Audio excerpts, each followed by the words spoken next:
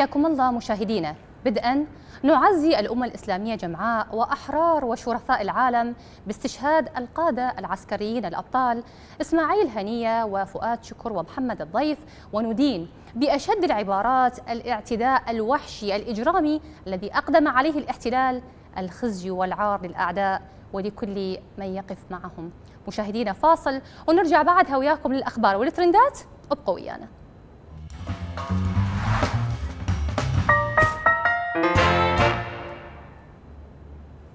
حياكم الله مشاهدينا ومنصة الفيسبوك. هذه المنصة اللي دائما ما آه، نشوف بها الأخبار والترندات اللي تنتشر على مواقع التواصل الاجتماعي وأيضا آه، على آه، القنوات الفضائية. وخبرنا لهذا اليوم اللي صح العالم عليا وخبر استشهاد إسماعيل هنية هو رئيس المكتب السياسي لحركة حماس إثر زيارته لمدينة طهران وتوجيه صاروخ في مقر إقامته واستشهاده إثر هذا العدوان الغاشم. الجبان. مشاهدينا طبعا أول فيديو لنا في منصة الفيسبوك هو فيديو يوضح لنا كيف استقبل آه، الإمام الخامنئي القائد الأعلى للثورة العربية الإسلامية نجل الشهيد السعيد إسماعيل هنية وكيف طبع على جبينة قبلة بعد أداء صلاة آه، الجنازة. مشاهدينا خلينا نشوف الفيديو ونرجع بعدها وياكم. داد می‌زنیم. حیات من نزله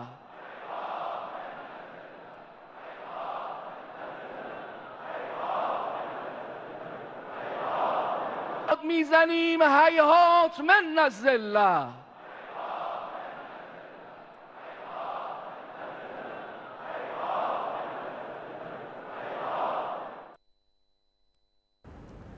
مثل ما شفنا مشاهدينا هذا الفيديو اللي يظهر به القائد الأعلى للثورة الإسلامية الإيرانية الإمام الخامنئي كيف يطبع قبلة على جبين نجل الشهيد السعيد إسماعيل هنية بعد أداء صلاة الجنازة. طبعا الإمام الخامنئي أيضا قبل يومين كان يرحب ورحب بإسماعيل هنية بقدومه لدعوته حفل تنصيب الرئيس الإيراني الجديد والآن آه، يقبل نجلة في بعد أداء صلاة الجنازة. هذا الفيديو إذا رمز مشاهدينا فهو يرمز لمحبة الإمام الخامنئي لإسماعيل هنية. إذا رمز فهو يرمز لأنه هو يساند القضية الفلسطينية وهو ضد الاحتلال الصهيوني الإسرائيلي الغاشم على غزة وعلى أهلنا في فلسطين وعلى هذا الدمار اللي شنته أو شن الاحتلال على غزة. هذا الفيديو إذا دل يدل على احتواء الروحي لكل عوائل الشهداء. كيف هو يساندهم وكيف هو يقدم لهم الدعم الروحي. وأيضا هذا الفيديو مشاهدينا هو رسالة ورمز إنه دم الشهيد السعيد ما راح يروح هدر. هذا الفيديو شفناه مشاهدينا عندنا فيديو آخر حول أيضا الشهيد السعيد إسماعيل هنية لكن يخص هالمرة زوجة آه، نجل آه، إسماعيل هنية. خلينا نشوف مشاهدينا الفيديو وبعدها نرجع وياكم. أمال ومنى بنات الشهيدات كائن دائما يلحن في الحرب من كتر ما شفنا من قتل وخوف وترهيب ودمار. كان يحكي يا ماما خلينا نروح نسافر عند سيدي أبو العبد يا ماما خلينا نشرد من الحرب. كنت أحكي له لا يا ماما ما بنفع. ما بنفع. إحنا يا ماما بنعيش مع الناس وبنموت مع الناس. إحنا يا ماما زينا زي الناس. لما نراحل واستشهدوا فعلا كانت زيهم زي الشهيدات الأطفال. الآن يا أمال ومنى يا ماما. أجسيد كان بحاله عندك استقبل إنه يا ماما أحلى استقبال وبوسن إيده وشرب إنه مية. استقبل إنه أجمل استقبال. هذا سيد كان رجل عظيم. الأرض خسرته. يا أهل الجنة استقبلوه يا أبناء يا أبناء الأمة يا أحرار الشهداء استقبلوه رحمة الله عليك يا أعظم الرجال يا سيدهم يا رئيسهم يا أنقاهم. رحمة الله عليك. والله لو نبكيك العمر ما نوفيك حقك يا حبيبنا. رحمة الله عليك. مشاهدينا مثل ما شفتوا هذا الفيديو كيف زوجة نجل الشهيد السعيد إسماعيل هنية إنه آه، تستذكر قصة بناتها الشهيدات اللي كانوا يطلبون شوفة جدهم.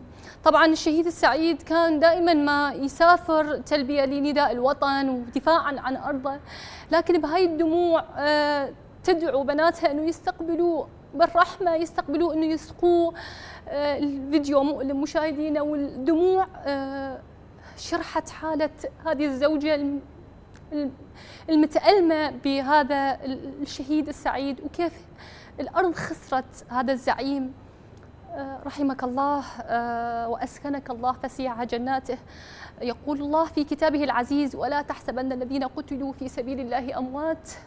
بل أحياء عند ربهم يرزقون. مشاهدينا أيضا آه، بوست عندنا من مدينة قم الإيرانية كيف انرفع العلم الأحمر على قبة مسجد جكرمان في مدينة قم الإيرانية. آه، وهذا العلم الأحمر هو رمز لإعلان حالة الحرب لإعلان الثأر. لدم الشهيد السعيد إسماعيل هنية آه، بقناة العربية رفعت إيران علما أحمر يسمى علم الثأر على قبة أحد المساجد في مدينة قم بعد اغتيال رئيس المكتب السياسي لحركة حماس إسماعيل هنية على أراضيها. في مقطع فيديو متداول ظهر شخص يرفع العلم فوق قبة مسجد جمكران في مدينة قم الإيرانية وهو نفس العلم الذي رفع عند مقتل قاسم سليماني يعتبر رفع علم الثأر في التراث الإيراني بمثابة إعلان حرب مشاهدينا سبق أن رفع العلم الأحمر في آه، الجمهورية الإيرانية عند مقتل القائد العسكري قاسم عند استشهاد عذرا آه، القائد العسكري قاسم سليماني في محافظة بغداد سنة 2020 والآن يرفع نفس العلم الأحمر على قبة مسجد جمكران في مدينة قم الإيرانية رمزا وثأرا لدم الشهيد السعيد إسماعيل هنية. مشاهدينا أيضا عندنا فيديو آخر حول هذا الموضوع أو بوست مشاهدينا من وكالة الأناضول للأنباء على مدار خمس سنوات. كان وسيم أبو شعبان حارسا شخصيا لرئيس المكتب السياسي لحركة حماس. إسماعيل هنية. رافقه كظله دون أن يفارقه حتى قضى نحبه معه بعملية اغتيال شهدتها العاصمة الإيرانية طهران. أبو شعبان ظل هنية ورفيقه بالحياة والممات. مشاهدينا آه هذا البوست يتحدث عن رفيق الشهيد السعيد إسماعيل هنية اللي دائما رافقه على مدى خمس سنوات بكل سفراته وبكل حروبه وبكل مؤتمراته وندواته وبكل الأماكن اللي حضر لها. هذا الشهيد السعيد أيضا راح يرافقه إلى الرفيق الأعلى في جنات الخلد. راح يرافقه آه، في مسيرته إن شاء الله في آه، الجنة. آه، أغتيل أيضا في نفس الوقت اللي أغتيل فيه الشهيد إسماعيل هنية. مشاهدينا الآن نشوف البوست اللي يصور لنا منزل الشهيد السعيد إسماعيل هنية. آه، صورة من أمام منزل إسماعيل هنية في غزة. صباح اليوم التقطها الصحفي إسماعيل الغول. إسماعيل الغول استشهد بعد هذه الصورة بقليل. باستهداف عذرا إسرائيلي إسماعيل كان يرتدي سترة الصحافة. مشاهدينا إسماعيل الغول هو مراسل آه، الصحفي لقناة الجزيرة صور هذا الركام آه، اللي بيبين بمنزل آه، الشهيد إسماعيل هنية في قطاع غزة اللي استهدفه الاحتلال الصهيوني الإسرائيلي الغاشم الجبان. هذه الحطام ما هو إلا رمز للقوة رمز للشجاعة رمز للصبر والتضحية. كيف يبين لنا إنه إسماعيل هنية ضحى مو بس بنفسه ضحى بأولاده ضحى ببيته. وهذا تذكار للقوة. مشاهدينا كثير من التعليقات وردود الأفعال آه، اللي حصدناها في آه، هذا الموضوع. مشاهدينا أول تعليق لنا بهذا الموضوع من تنسيقية حملة الشهادات العليا والأوائل. حسبنا الله ونعم الوكيل. إسماعيل يلتحق بإسماعيل. واللقاء بالجنة إن شاء الله. إن شاء الله. آه، مسكنكم آه، جنان الخلد.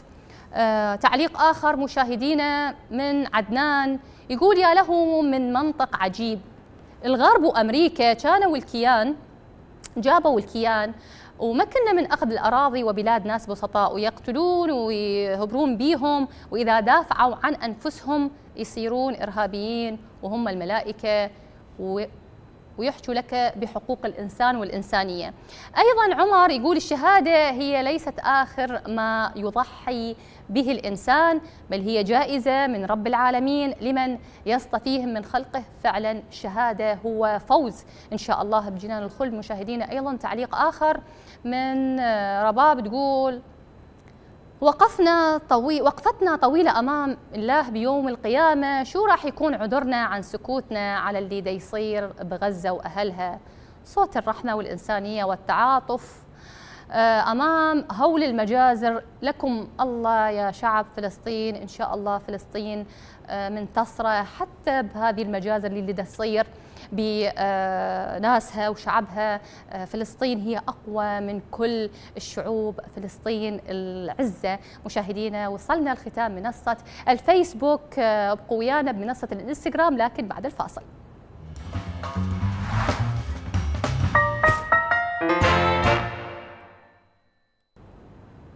مشاهدينا والآن منصة الانستغرام أيضا حول موضوع الاغتيال الإجرامي على الشهيد آه، إسماعيل آه، آه، إسماعيل هنية. مشاهدينا عندنا أول بوست من منصة الانستغرام. نشوف هذا الفيديو ونرجع بعدها وياكم. اليوم أنا أنعي عمي الحبيب من أمام بيته على أنقاضه. في مخيم الشاطئ.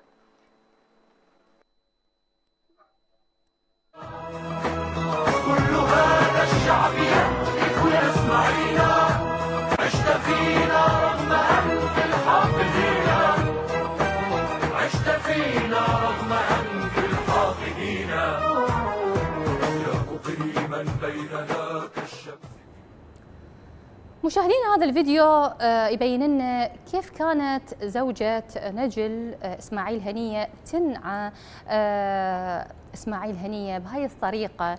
ذاهبة يم ركام بيته وجايبة صورته وعلقتها وهي تنظر له بنظرات مليئة بالفخر مليئة بالاعتزاز مليئة أيضا بالحزن وأيضا مليئة بالوعود إنه هي راح آه، دم هذا الشهيد السعيد ما راح يروح. هدر هذا الفيديو بين لنا كيف الناس آه، يعني تريد تنعى فقدائها وأحبائها بالطريقة اللي هم يرغبوا لها. هذا الفيديو مشاهدينا آه، أيضا عن إسماعيل هنيه البوست الآخر مشاهدينا عن الباكستانيين تنديدا لهذا الفعل الإجرامي وهذا الفعل الوحشي اللي صار برئيس المكتب السياسي لحركة حماس ظهروا الباكستانيين وتجمعوا لأداء صلاة الغائب على روح إسماعيل هنية. نشوف هذه الجموع الغفيرة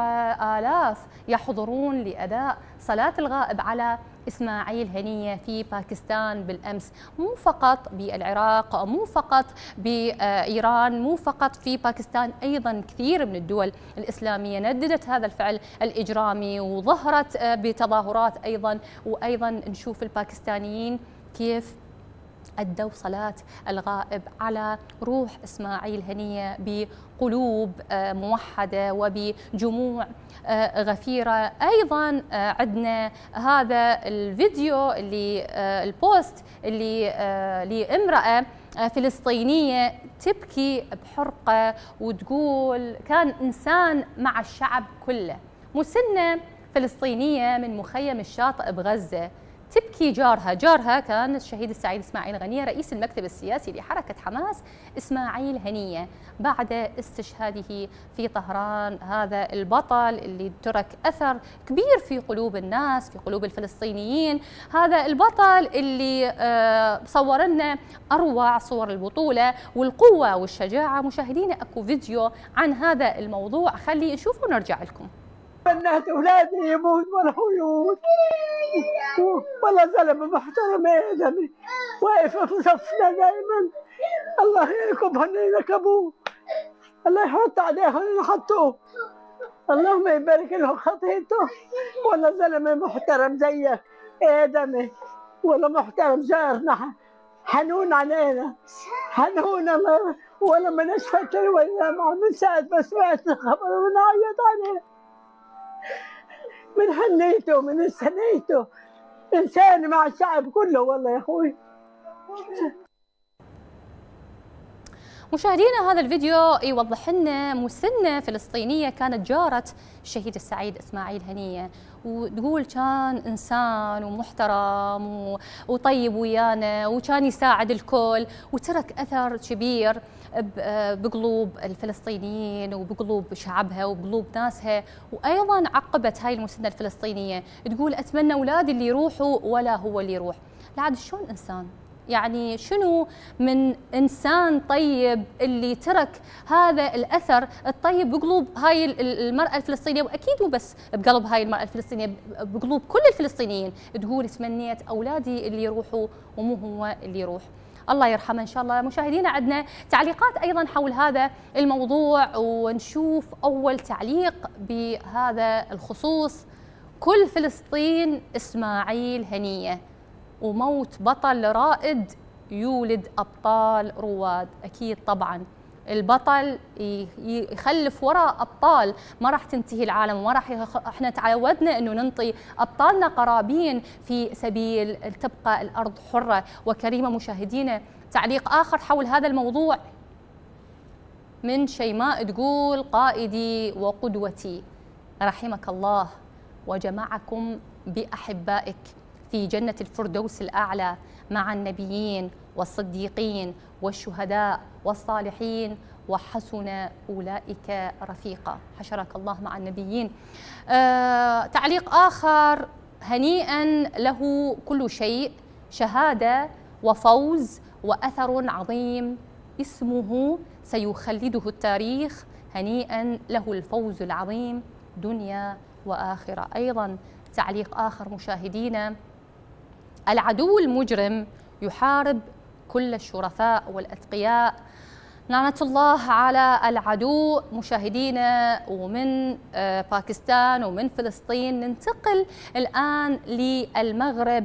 وتظاهرات عارمة على آه، هذا العمل الإجرامي. خرجت الناس في آه، المغرب ضد هذا العدوان الغاشم. آلاف يتظاهرون في مدن مختلفة بالمغرب. تنديدا باغتيال رئيس المكتب السياسي لحركة حماس إسماعيل هنية في طهران يوم أمس. إذا مو بس بباكستان ومو بس آه، بإيران أيضا في المغرب. خرجوا الآلاف يتظاهرون وينددون بهذا العمل الإجرامي اللي آه، قام به الاحتلال على آه، إسماعيل هنية. مشاهدينا أكو فيديو حول هذا الموضوع. خلينا نشوفه ونرجع لكم.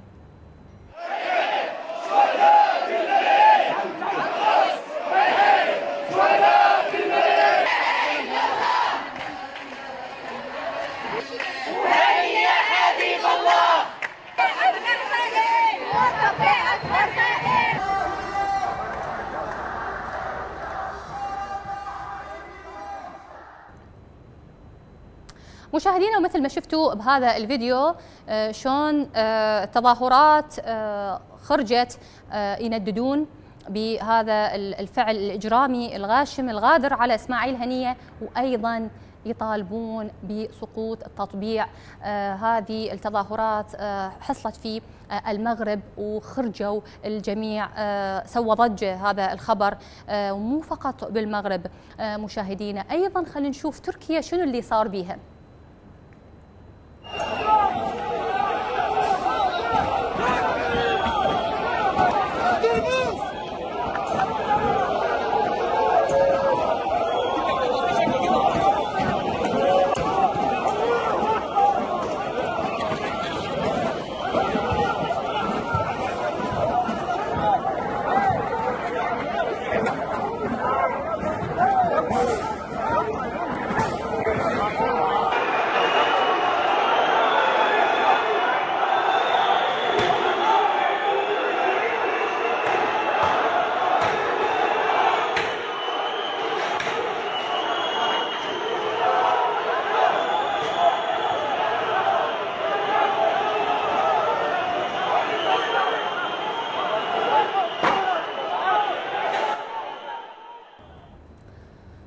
مشاهدينا مثل ما شفنا بهذا الفيديو مو فقط بالمغرب وباكستان أيضا بتركيا ضجت الناس والمواطنين على الوكالات الأمريكية ستاربكس و سووا أعمال شغب وكسروا كل الموجودات بهذه الوكالة. هي وكالة للقهوة والكوفيهات. مشاهدينا هذا أيضا تظاهرات وتنديد بالعدوان الإجرامي على اللي صار على إسماعيل هنية. وصلنا وياكم مشاهدينا الختام منصة الإنستغرام. نرجع بعدها لمنصة إكس لكن بعد الفاصل.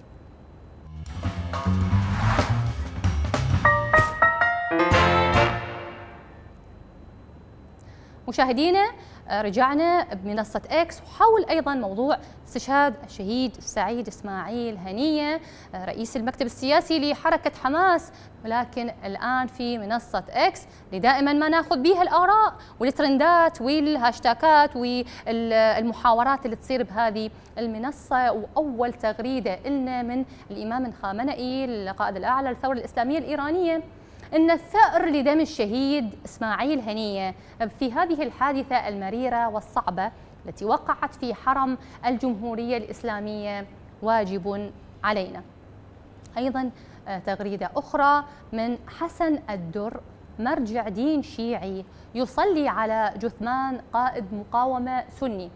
هذا مشهد استثنائي في تاريخ الصراع مع إسرائيل بعد سنوات من الصراع الطائفي ومليارات للتحريض على المقاومة. هذه الصورة ستبقى لأجيال علامة على أصالة الأمة في مواجهة العدو مهما تآمر الحكام وتكالب بعض العوام. هاشتاج إسماعيل هنية. أيضا مشاهدين تغريدة أخرى. لطيف إسماعيل هنية هي ابنة شهيد السعيد إسماعيل هنية تقول الذين يقولون إن إيران السبب. ما كنتم تستقبلوه أنتم في بلدانكم يا عرب؟ أنتم أقرب إلينا من إيران. ولكن كانت إيران هي السند لنا أفضل منكم. ولهذا السبب لا يحق لكم أن تتكلموا عن إيران. هي أشرف منكم بحسها. عاصمة الإسلام هي هاشتاج إسماعيل هنية. أيضا تغريدة أخرى مشاهدينا. سبق من الدكتور عبد الله العمادي يقول سبقه الأبناء والأحفاد إلى عالم الشهداء. وقال كلمته المشهورة دماء أبنائي ليست أغلى من دماء أبناء شعبنا. واليوم يرتقي إليهم ولسان حاله يردد الآية الخالدة ولا تحسبن الذين قتلوا في سبيل الله أمواتا بل أحياء عند ربهم يرزقون؟ أيضا هاشتاج إسماعيل هنية. وهذا الفيديو مشاهدينا خلينا نشوفه ونرجع لكم ولا تحسبن الذين قتلوا في سبيل الله أمواتا بل أحياء عند ربهم يرزقون. فرحين بما آتاهم الله من فضله ويستبشرون بالذين لم يلحقوا بهم. من خلفهم ألا خوف عليهم ولا هم يحزنون. مشاهدينا هذا الفيديو اللي يظهر به إسماعيل هنية شهيد السعيد بتلاوة هاي الآية. طبعا قبل شهر هو كان بجولة تفقدية في إحدى المستشفيات وبالتالي يكتشف أنه أولاده الثلاثة هم من ضمن الشهداء اللي ارتقوا أيضا إلى الرفيق الأعلى. مشاهدينا هذا الفيديو بعد عندنا بوست. خلينا نشوفه. أيضا هذه التغريدة من أدهم أبو سليمة سلمية آه لقد سجد سجود الشكر لله وأعلنها سجدة شكر وانتصار لتكون فاتحة طوفان الأقصى على طريق الحرية والخلاص من الاحتلال. والله ما ضر إسماعيل هنية رحيل الجسد الطاهر فروحه حاضرة في جهاد أبنائه ممن سيكملون الطريق صبرا جميلا والله غالب على أمره ولكن أكثر الناس لا يعلمون. مشاهدينا عندنا تغريدة أخرى؟ مشاهدينا عندنا فيديو. خلينا نشوفه ونرجع لكم. هذا المنظر طلع طلع يقولي زاحفين شباب الجيب وجايبين طلع طلع. طلع طلع. طلع جيب الإسرائيلي هم دخل على شوي لا صار طالع نازله يلا سجدة الشكر إن شاء الله على هذا النصر. اللهم أتم نصرك وعزك يا رب لشعبنا وأمتنا. الله أكبر.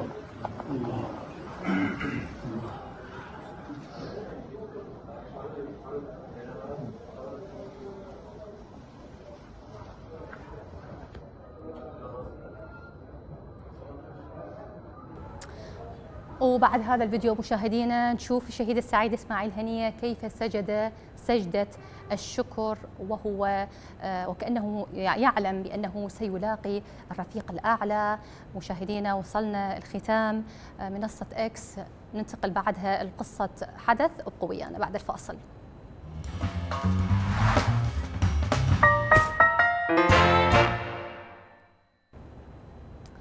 مشاهدينا رجعنا وياكم بقصة حدث. وأيضا حول موضوع العدوان على آه، الشهيد السعيد إسماعيل هنية. قصة حدث اليوم تتحدث عن ماذا بعد اغتيال هنية؟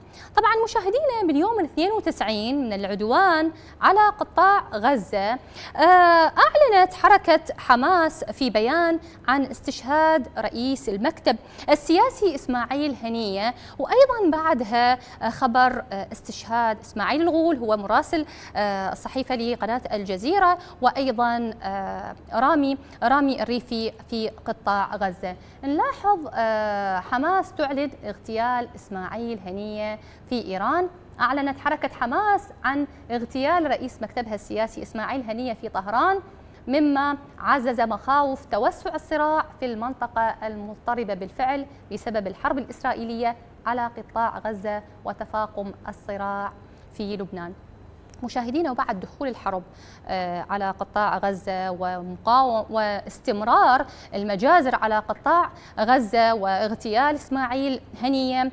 أيضا آه، تم آه، أمر الإمام الخامنئي بضرب إسرائيل ردا على اغتيال إسماعيل هنية. نقلت صحيفة نيويورك تايمز عن ثلاث مسؤولين إيرانيين مطلعين أن المرشد الإيراني علي خامنئي أمر أيضا بضرب إسرائيل مباشرة ردا على اغتيال رئيس المكتب السياسي لحركة حماس. آه لحركة المقاومة الإسلامية حماس إسماعيل هنية في طهران. أيضا نقلت واشنطن بوست عن مسؤول في البنتاغون أن الولايات المتحدة أيضا حشدت 12 سفينة حربية في الشرق الأوسط بعد آه، واشنطن في بوست أمريكي. أمريكا حشدت 12 سفينة حربية في الشرق الأوسط. بعد اغتيال إسماعيل هنية وفؤاد شكر هو القائد العسكري في حزب الله حشدت الولايات المتحدة الأمريكية 12 سفينة حربية في الشرق الأوسط بعد اغتيال رئيس المكتب السياسي لحركة المقاومة الإسلامية حماس. إسماعيل هنية والقيادي في حزب الله اللبناني فؤاد شكر حسب ما نقلت واشنطن بوست عن مسؤول في وزارة الدفاع الأمريكية البنتاغون الخميس 1 أغسطس آب من 2024 مشاهدينا أيضا اليوم الخميس تعلن قيادة آه، حركة حماس آه، عن آه، اغتيال القائد في قيادة كتائب القسام محمد الضيف بعد أن استهدفوه قبل أسبوعين في غارة. وأعلن أحد القادة أن الاغتيال اللي يحصل بأي قادة من قواتها هو يخص قيادة الكتائب والحركة. كما ذكر الرشق أنه ما لم تعلن قيادة حماس أي تفاصيل بشأن مقتل أي من قادتها فلا يمكن تأكيد أي خبر من الأخبار المتداولة. مشاهدينا نوصل الآن الختام فقرتنا لقصة آه، حدث فاصل ونرجع بعدها وياكم مشاهدينا ابقوا ويانا.